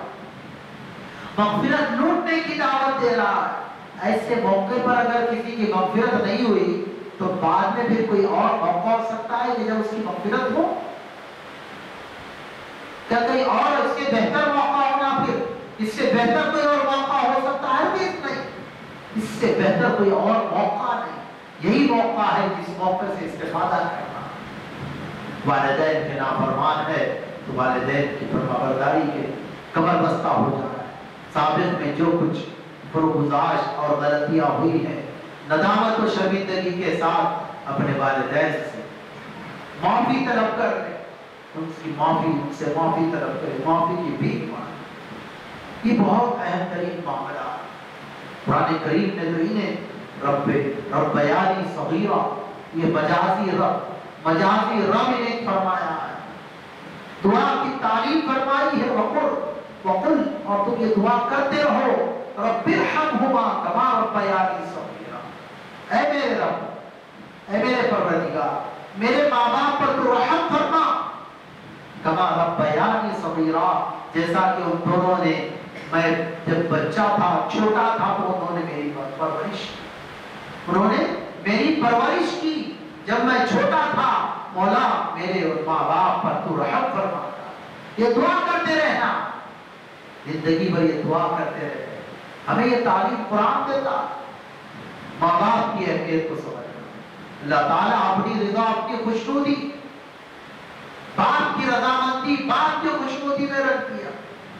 اور اپنی ناراضگی کو باپ کی ناراضگی میں رکھ دیا۔ رضا رب فی رضا الوالد۔ اللہ کی رضا والد کی رضا اللہ کی خوشنودی باپ کی خوشنودی میں۔ ماں باپ کی ناراضگی میں اللہ کی ناراضگی ہوتی یہ ایسا معاملہ ایسا معاملہ ہے۔ اللہ اکبر کہ بندہ اگر ماں باپ کی پرواہ کیے بغیر، ماں باپ کو راضی کیے بغیر ان کی تو نافرمانی کرتا ہے۔ لیکن اللہ کی فرما برداری، اطاعت اور اللہ کی بندگی ادا کرنے میں کوئی کمی نہیں رکھتا۔ بہت حد تک نمازوں کا معاملہ عمروں کا معاملہ حج کا معاملہ، وہ زکات کا معاملہ، ہر چیز پوری پرفیکٹ ہے، بلکہ جتنی ہونا اس سے زیادہ ہے۔ لیکن اگر ماں باپ ناراض ہے، اگر ماں باپ ناراض ہے، تو یہ سب کچھ کر کے بھی بندہ اپنی نجات کا پروانہ حاصل نہیں کر سکتا۔ اپنی نجات کا پروانہ حاصل نہیں کر سکتا جب تک کہ وہ اپنے والدین کو ماں باپ کی رضامندی بہت اہمیت کیا قرآن کریم نے اس حد تک حقوق بتایا ہے اتنی اتنی حساسیت کے ساتھ اس عنوان کو بیان فرمایا کہ جب تمہارے والدین بڑھاپے کو پہنچ جائے تمہارے جیتے جی تمہارے جیتے جی تمہارے والدین ماں باپ یا ماں باپ میں سے کوئی ایک والد کا انتقال ہو گیا، والدہ رہ گئی۔ والدہ کا انتقال ہو گیا، والد رہ گئی۔ کوئی تو کوئی بھی صورت ہو سکتی۔ دونوں کے دونوں یا دونوں میں سے کوئی ایک بڑھاپے کو پہنچ جائے۔ تو پھر تمہاری ذمہ داریاں جو بتائی گئی ہے اللہ اکبر، ان کے لیے تو تم ان کے لیے تو تم اپنے بازوؤں کو، اپنے ذلت کے بازوؤں کو بچھا دینا۔ یعنی ان کے قدموں میں بچ جانا ہے۔ وَخْفِضْ لَهُمَا جَنَاحَ الذُّلِّ مِنَ الرَّحْمَةِ. رحمت کے ساتھ. سختی تو دور دور تک میں تو گمان میں لانے کی نہیں ہے وہاں پر. ہاں؟ جی کیا ہے؟ یہ الفاظ کا کوئی دور تک امکان ہی نہیں ہے وہاں پر. اللہ، ولا تقل لهما اف ولا تنهرهما کیسا لفظ اور تم اپنے ان ماں باپ، بوڑھے ماں باپ کو اف تک نہ کہو. اف یہ لفظ یعنی کوئی بات ہوتی ہے نا، ایسا چھوٹا سا اف دو حرف ہے اس کے اندر دو حرف ہے۔ حرف ایک سنگل الفابیٹ ہوتا تین الفابیٹ مل کر عمومی طور پر ایک کلمہ بنتے ورڈ بنتا ہے۔ ایک ورڈ بنتا تین الفابیٹ میں صرف دو۔ تین بھی نہیں اف الف اور فے الف اور فے دو ہے صرف دو پہ لمبا نے فرما اف یعنی اتنا چھوٹا کلمہ۔ عمومی طور پر تین کلمے ہونا پڑتا تین حروف ہونا پڑتا کلمہ بننے کے بعد، لیکن یہ دو ہی بنتا اف چھوٹے سے چھوٹا کلمہ۔ ولا تقل لهما اف ان سے اف تک نہ کہو۔ اب یہاں پر اس سے مفسرین نے فرمایا، زبان سے کہنا تو کیا، تمہاری کوئی ایسی حرکت بھی نہ ہونے پائے۔ تمہاری پیشانی پر ایسے کسی طرح کا کوئی علامت یا کوئی بل بھی نہ آنے پائے کہ جو ان کی طبیعت پر گرا گزرتے ہو ان کی طبیعت پر گرا گزرتے ہو یہ بھی گویا اف کے حکم میں آ جاتا۔ ارے میں اف تھوڑی بولا۔ میں اف نہیں بولا، لیکن ایسی حد ہوں۔ یہ الفاظ۔ ایسے الفاظ کا استعمال بھی۔ جو بجلی بن کا گرتے ہیں ماں باپ کے دل پر۔ اللہ میں قرآن میں اف کہنے سے منع کیا گیا، اس واسطے خالی اف نہیں بول رہا باقی کا سب کر دے رہا میں اف تھوڑی بولا۔ ارے اف نہیں بولا نادان لیکن بڑے بڑے طوفان ڈھا دیا تو نے تو۔ اللہ اکبر، یہ معاملات ایسے ہوتے کہ اتنا حساسیت کے ساتھ قرآن بیان فرماتا ہے۔ اس عنوان کو اللہ اکبر ماں باپ کے ساتھ حسن سلوک حسن سلوک روا رکھنا، حسن سلوک ان کی خدمت، ان کے حسن سلوک آپ کے اوپر لازم ضروری کہ ماں باپ کی رضامندی، اللہ کی رضامندی کا سبب بنتے ماں باپ کی ناراضگی اللہ کے ناراض ہونے کا سبب بن جاتی ہے۔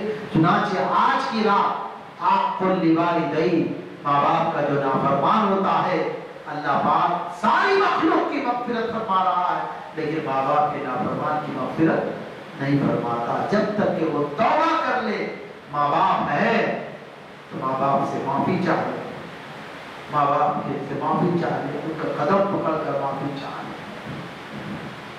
خلوص سے بڑی محبت کرنے والی شخصیت ہوتی ہے تو ماں باپ کی شخصیت ہوتی ہے۔ بے لوس محبت کرنے والی شخصیت ہوتی ہے تو ماں کی شخصیت ہوتی ہے۔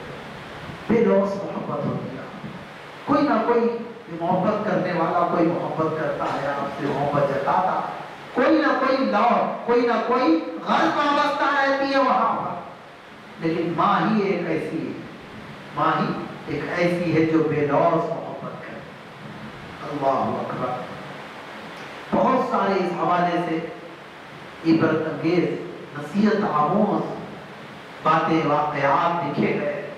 آپ کے بھی پڑھنے میں آتا ہوگا سننے میں آتا ہوگا، لیکن اس کو ہر چیز کو اپنے لیے کچھ نصیحت کا سامان کرنے کی کوشش کریں اس سے میرے لیے کیا نصیحت مل سکتی؟ اس سے میں کیا عبرت حاصل کر سکتا؟ یہ کوشش بندے کے اندر ہونی چاہیے۔ وہ بندہ کامیاب اور بامراد ہوتا ہے۔ جو بندہ ہر واقعے کے اندر، ہر بات کے اندر اپنے لیے نصیحت اور اپنے لیے عبرت تلاش کرتا حضرات گرامی یہ معاملہ والدین کی کے ساتھ حسن سلوک اب زندگی دنیا سے اگر گزر گئے، انتقال کر گئے، اگر ہوتے تو میں معافی چاہتا تھا، جاتا جی۔ میں نے ستایا ہے، نافرمانی کی ہے۔ عمر کا ایک حصہ ایسا تھا، کوئی نصیحت بھی کوئی اس طرح کی نہ ملی تھی۔ کہ پہلے سے کچھ سنتا تو نہ کرتا، لیکن کچھ پتا نہ تھا۔ قدر و منزلت سے ناواقف تھا، کر گزر گیا۔ لیکن اب رہے نہیں، انتقال کر رہے۔ اگر رہتے تو وہاں بھی چاہ دیتا۔ اس کے لیے بھی صورت۔ اس کے لیے آپ ان کی قبر پر جائیں۔ ان کی قبر پر جا کر آپ فاتحہ خانی کریں۔ ان کے لیے سارے ثواب کریں۔ اور آپ ان کی قبر پر جا کر ان سے معافی طلب ان کی قبر پر جا کر آپ معافی چاہیں۔ اپنی معافی، اپنے آپ کو معاف کرنے کی درخواست ان سے کریں۔ قبور کی زیارت۔ والدین کے، والدین کی خصوصیت کے ساتھ جو آج کا ماحول چل پڑا۔ بھئی ہائر اسٹڈیز کے نام پر بچوں کو ایسے ماحول ملتے ہیں کہ بچے جب اس ماحول میں جاتے ہیں، تو پھر جہاں پر پہلے سے بیک گراؤنڈ اپنی اہل و عیال کا، اپنے گھر والوں کا، اپنی اولاد و ضروریت کا، دینی ماحول، دینی تربیت کا ماحول پہلے سے فراہم کیا جاتا، بچہ سب سمجھا ہوا ہوتا، دینی روایات کو جانا ہوا ہوتا، تربیت سے وہ تربیت یافتہ ہوتا۔ لیکن کچھ موقع نہیں ملا یا اس کی اہمیت سے ناواقف تھے، بس ابھی کریں گے، ابھی کریں گے، میں ہوا۔ پھر وہ، پھر ایسے تعلیمی اداروں کے آغوش میں چلا گیا، تو پھر آپ کا ادب، آپ کا احترام جہاں پر نہایت ادب سے سلام کر کر آپ کا ہاتھ اپنے سر پر رکھا لینے۔ آپ کے قدم چھونے کو اپنے لیے بڑی سعادت مندی کا سامان سمجھتا تھا۔ پھر وہ آپ کو قریب آ کر سلام کرنا بھی آپ وہ آپ کو گوارا میں نہیں محسوس کرتا۔ گوارا میں محسوس نہیں کرتا۔ گوارا نہیں کرتا اس بات کو کہ وہ آپ کے قریب آ کر سلام وہ دور سے السلام علیکم۔ پھر ہائے، ہلو، پر بات آ گئی تو اور بڑی آگے نکل جاتی۔ پھر معاملہ بس وہی اگر رہا تو پھر انتقال ہونے کے بعد جب دنیا میں زندگی میں اہمیت باقی نہیں رہی تو مرنے کے بعد کیا اہمیت آ رہنے تک زندہ رہنے تک اہمیت ہے تو پھر بھی کچھ امکان رہتا ہے کہ بھائی بعد میں بھی کچھ اہمیت رہے گی۔ اب بعد میں اہمیت رہے گی تو کیا کرے گا؟ وہ بھی صورتیں ہمارے پاس۔ نا امیدی نہیں اللہ تبارک و تعالیٰ کی رحمت بڑی وسیع اللہ اکبر۔ اللہ تبارک و تعالیٰ نے اپنی رحمت کو اپنے غضب پر حاوی فرما دیا۔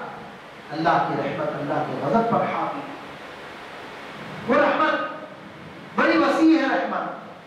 بعد انتقال بھی یہ سب ہوتا۔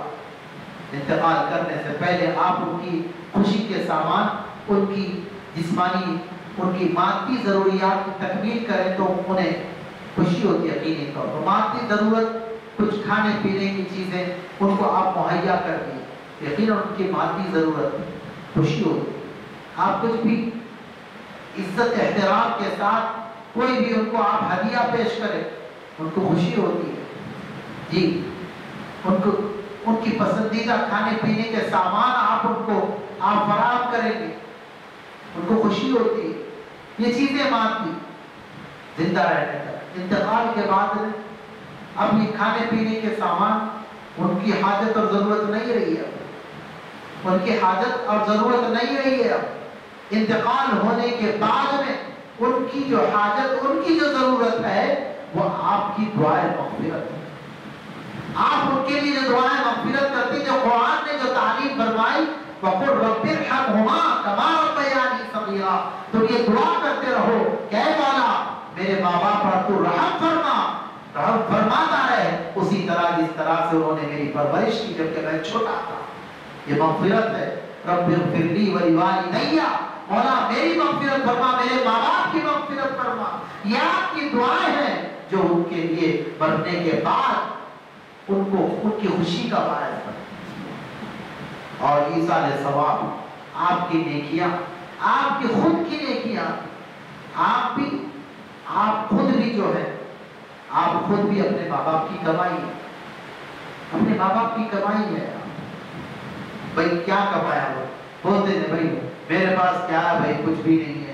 میری دولت تو بس یہی ہے میرے بچے ہو بھائی، دولت کما دے نا بھائی۔ دولت کما تو بولتے ہیں ہاں اتنے وہ اتنے یہ پراپرٹی کی جائیداد، یہ دولت وہ سب بھی رہے اگر اولاد اچھی نہیں نیک سعادت مند اچھا اولاد اگر ہے تو بتا دے۔ بھائی، یہ سب میں کوئی میرے پاس کوئی سی میرا کوئی ایسا اثاثہ نہیں ہے۔ میرا اثاثہ تو یہی میرے بچے ہو۔ یعنی میری اثاثہ نہیں، میری اپنی کمائی ہوئی چیز ہے۔ یہ کمائی ہوئی چیز ہے، یقیناً۔ ماں باپ کی یہ کمائی ہوئی چیز ہے، یہ ان کی سعادت مندیاں، اولاد کی نیکیاں، ان کی سعادت مندیاں بھی۔ ماں باپ کے لیے ماں باپ کے لیے راحت کا باعث بنتی ان کی خوشی کا باعث بنتی ہے مرنے کے بعد بھی۔ ان کی خوشی کا باعث بنتی ہے اولاد کی، یہاں پر۔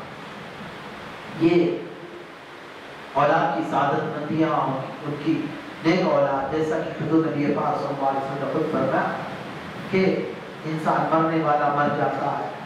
تو وہ اپنے مرنے کے بعد اپنے پیٹ پیچھے باقی رہنے والے نیکیاں صالحات باقیات صالحات۔ باقی رہنے والی جو نیکیاں چھوڑتا ہے وہ کیا ہے؟ وہ کیا ہے؟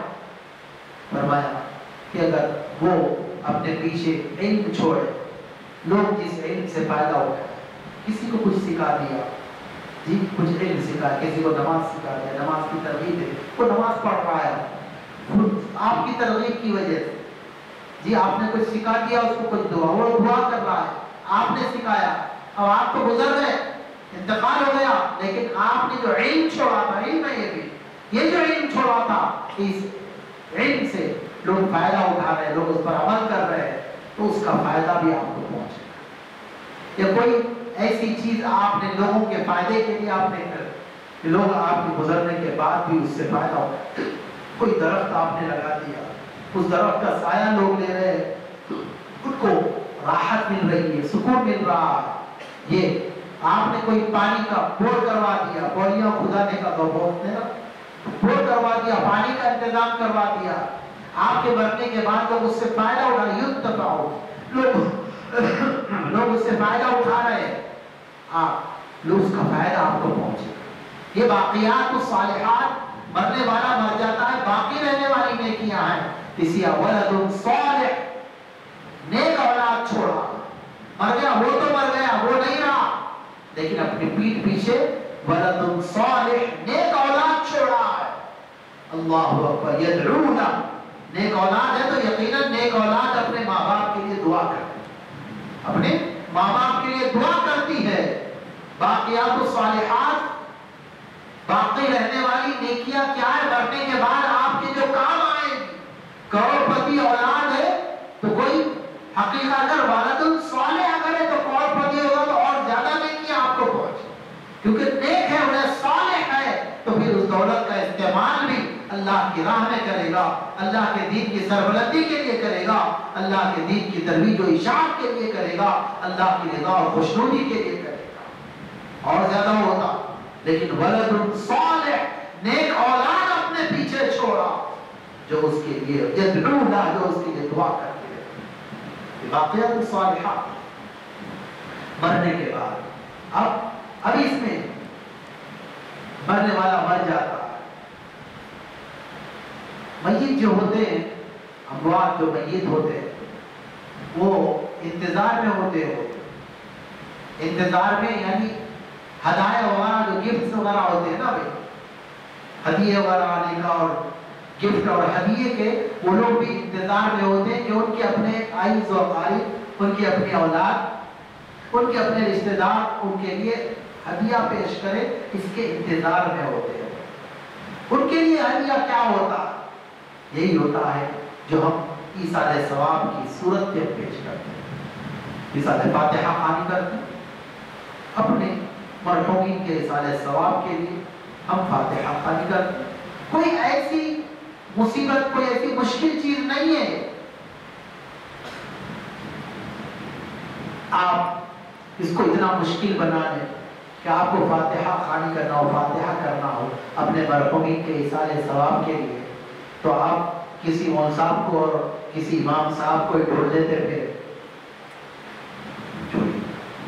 آپ کسی مول صاحب کو اور کسی امام صاحب کو ڈھول لیتے پھر کہ ان کو پکڑ کر لانا اور فاتحہ آپ اس کو ہے آسان۔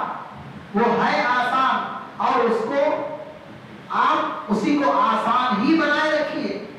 اور اسی آسانی کے ساتھ میں آپ آپ وقتاً فوقتاً آپ کی سارے ثواب کا اہتمام گھر پہ کیجیے۔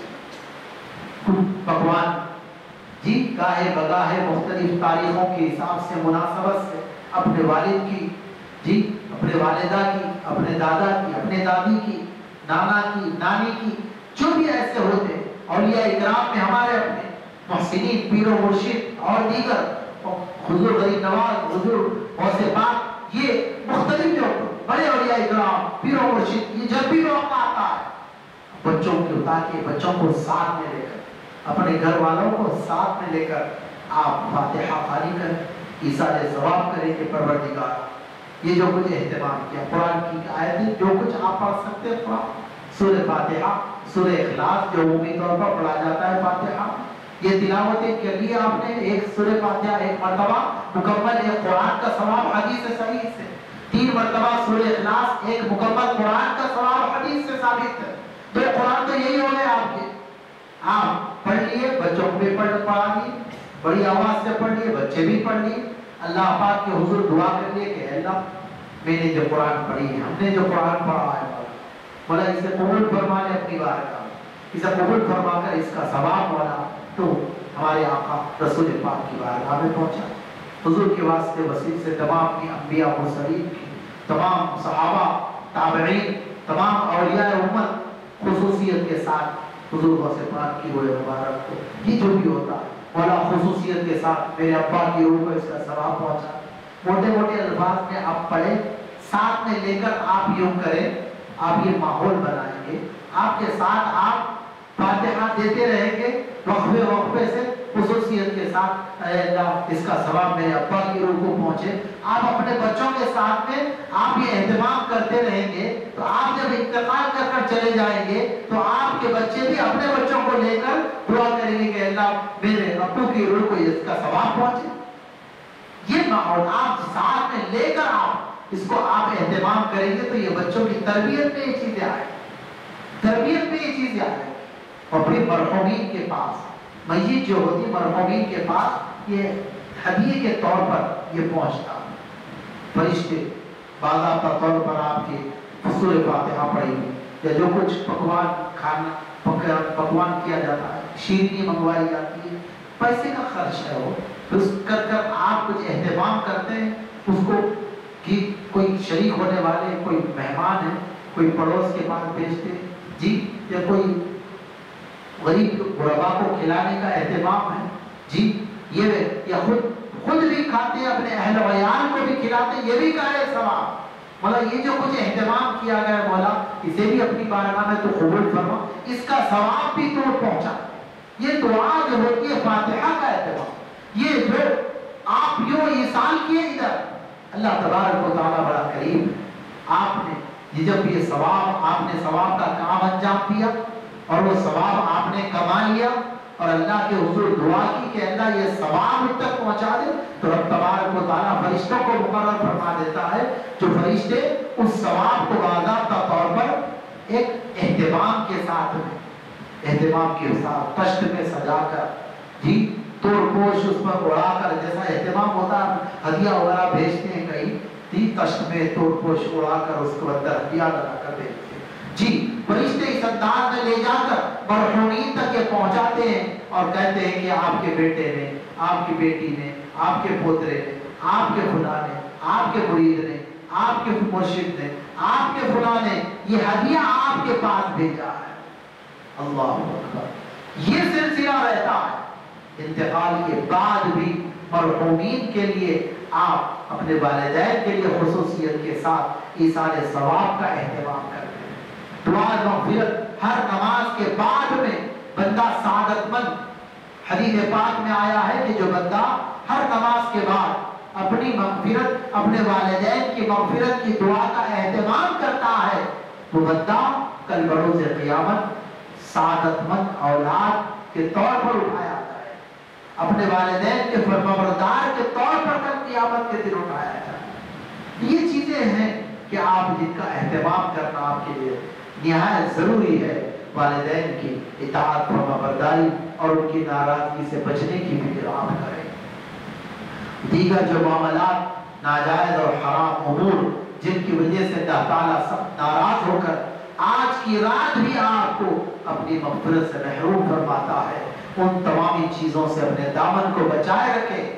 رب کے حضور سچے دل سے توبہ کر کر تہیا کر لے کہ آئندہ ایسی چیزوں کی طرف باتیں واپس نہیں پٹیں گے اور زندگی بھر ان چیزوں سے ہم احتیاط کریں گے، اجتناب کریں گے اور بچتے رہیں گے۔ تو اللہ تبارک و تعالیٰ کی رحمت اسی آن، اسی لمحے آپ کو اپنے آغوش میں لے لے گی۔ اللہ اکبر۔ حضرات گرامی، یہ رات بڑی اہمیت کی، وقت جتنا ممکن ہو سکے۔ آپ دعاؤں میں گزاریں۔ جی نوافل پڑھ کر گزاریں۔ آپ قضاء عمری کا اہتمام کریں یہ ذکر ہے، دعا ہے، نماز بڑی جامع ہے۔ یہ تلاوت قرآن بھی اس کے اندر ہے، ذکر بھی اس کے اندر ہے، تسبیح بھی اس کے اندر ہے۔ جی اور درد پاک بھی اس کے اندر ہے۔ دعا اس کے اندر ہے۔ آپ اس کا اہتمام کریں، جتنا ممکن ہو سکے اہتمام کر لیں۔ اللہ تبارک و تعالی ہم پر اور آپ پر لطف کرم فرمائیں آج کی رات فرشتوں کے حوالے ہوتے ہیں، بندوں کے آئندہ سال تک بندے کے ساتھ کیے جانے والے معاملات۔ اس کو جو کچھ روزی روٹی پہنچنی ہے، آج کی رات فرشتوں کے حوالے کیا جاتا ہے۔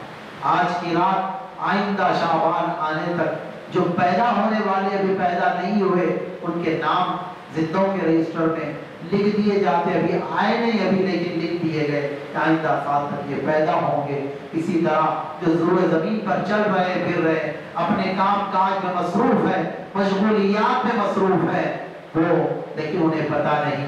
آئندہ شعبان سے پہلے اگر ان کی موت آنے والی ہے، انہیں موت، تو ان کا نام زندوں کے رجسٹر سے نکال کر مردوں کے رجسٹر میں منتقل کر دیا جاتا ہے۔ فرشتوں کے حوالے ہو جاتا ہے کہ آئندہ سال شعبان سے پہلے فلا وقت فلا مہینے میں فلا مقام پر اس کی موت واقع ہونے والی ہے۔ فرشتے کے حوالے ہو جاتا ہے۔ اسی لیے فرمایا گیا کہ بہت سارے لوگ ایسے ہوتے ہیں آج کی رات وہ بڑے بڑی پلاننگ میں مصروف رہتے ہیں۔ میں فلاں مکان بناؤں گا، اتنے سٹوری کا مکان، اتنے منزلہ بناؤں گا، اتنی شادی کروں گا، اتنے بچے پیدا کروں گا، اتنی کمائی، اتنے بینک بیلنس کروں گا۔ بڑے بڑے پلاننگوں میں ہوتا ہے، لیکن اسے خبر نہیں ہوتی کہ اس کا کفن مارکیٹ میں آ چکا ہوگا اس کا کفن بازار میں آ چکا ہوتا ہے، جو کفن اس کے لیے تیار کیا گیا ہے۔ وہ بازار میں دکان میں آ چکا ہے اور اسے خبر نہیں ہے تو بڑی بڑی پلاننگوں میں لگا ہوا ہے۔ آج کی رات بڑی اہمیت کی رات ہے۔ قضاء و قدر کی فیصلے ہونے کی رات ہے۔ اپنے رب کو منا لو اور اپنے رب کو راضی کر لو اور فیصلوں کو اپنے حق میں کرنے کی آپ دعا کرو اور بھیک مانگو کہ مولا، جو فیصلہ، مولا جو ہمارے ہمارے لیے نقصان دہ ہے، ہمارے خلاف میں ہے ہماری تکلیف کا سبب بننے والا، ہماری مصیبت کا ذریعہ بننے والا مولا ان سارے فیصلوں کو بدل دے، ہمارے حق میں فیصلے فرما دے، ہمارے لیے فائدہ مند ہو۔ ہماری دنیا و آخرت کے لیے فائدہ مند ہو، مولا، ایسے فیصلے ہمارے حق میں فرما دے۔ یہ دعاؤں کو، کے ذریعے سے اپنے رب کے حضور رات حاضر رہیں۔ یقیناً پھر فیصلہ آپ کے حق میں ہوگا۔ آپ کے حق میں ہوگا، آپ کے موافق ہوگا۔ اللہ تبارک و تعالیٰ تمام پر لطف و کرم فرمائے، ہماری حاجتوں پر تبارک و تعالیٰ پوری فرمائے۔ مولا تعالیٰ مولا تعالیٰ اگر تو ہمیں تمہارے نام اعمال میں مولا مولا روح محفوظ میں اگر مولا تو نے شقی اور محروم لکھ دیا ہے، تو مولا اسے میٹ دے اور سعادت مندوں میں ہمارا نام لکھ دے مولا۔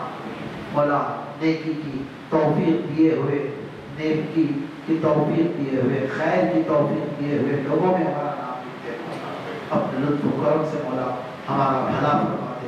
دنیا و آخرت کی بھلائی ہمارے مقدر فرما دے۔ مولا آمین۔ بجاہ سید المرسلین وصلی اللہ تعالی علیہ وآلہ وسلم۔ والحمد للہ رب العالمین۔ صلی اللہ علیہ وسلم۔